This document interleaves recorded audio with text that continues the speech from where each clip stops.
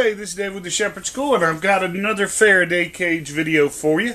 Um, get lots of survival blog uh, readers um, that watch my uh, YouTube channel come to my website, and I can't blame them because I'm a big survival blog reader myself. And uh, here recently, uh, there was a post on Survival Blog about using popcorn tins as Faraday cages. Okay, and I've had a couple PMs, people asking me about it, and so we're going to try it. Now we're going to do something a little different this time. Because of the size of the can, we're not going to wrap everything up in uh, in plastic bags, okay? But you do have to insulate. So what I did is I got some uh, rubber contact sheet from the dollar store, set it down on the workbench, put this on it, cut around it with a knife so I have a little round pattern. Put that in the bottom. And then little ice cream tin. We're going to just drop in there okay? Now that's going to isolate whatever we put in the tin from the sides of the tin okay? Stick my walkie-talkie in there. Gonna stick cell phone in there. Then we're going to put the lid on okay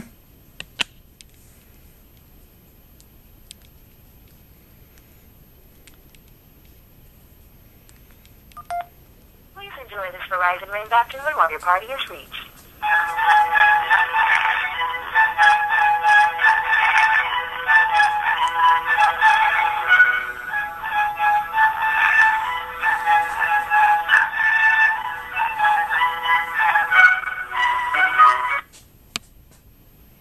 Hey, this is Judy. Leave me a message and I'll return. So a popcorn tin does work. Okay? Now, different frequency, different wattage.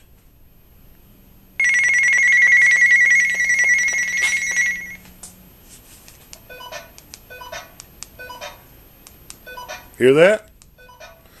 It is coming through the popcorn tin. So, popcorn tin works a little bit, but not uh, for everything.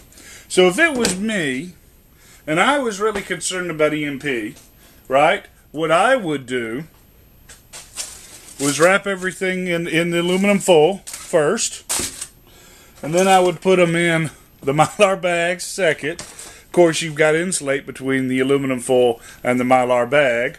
Then I'd put them in a popcorn tin, and then I would put them in a grounded um, gun safe, a grounded metal filing cabinet, something like that. And I would try to use a little bit of dissimilar metals um, in between. You know, uh, uh, maybe a steel gun safe and then an aluminum um, pie tin, and then well, what is that? That's probably steel uh, with with the tin coating.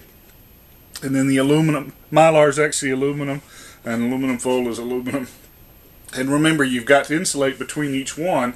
And uh, I would ground the biggest one on the outside simply because that helps you with um, uh, lightning or whatever. It doesn't really do much for EMP, but uh, a lot of people disagree with me on that. But this is coming from the uh, FEMA guidance on EMP protection.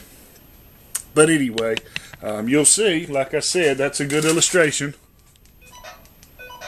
It works on some things, but not on everything. So until next time, you can always get us online at www.tngun.com.